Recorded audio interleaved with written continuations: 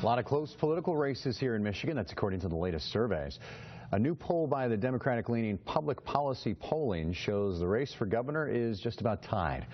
Both Governor Rick Snyder and his Democrat challenger Mark Schauer came up with about 40%. In the U.S. Senate race, Representative Gary Peters is leading his opponent, Terry Lynn Land, by a couple of points, 41 to 36. Again, this is a uh, Democrat-leaning poll. And the state attorney general's race, neck and neck tonight. Incumbent Bill Schuette apparently leading challenger Mark Totten 34 to 32 percent. You can see the full survey at fox17online.com.